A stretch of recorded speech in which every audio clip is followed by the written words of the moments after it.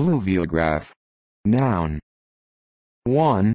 An instrument for measuring the amount of water that has fallen, i.e. a rain gauge, with a feature to register the data in real time to demonstrate rainfall over a short period, often an automated graphing instrument.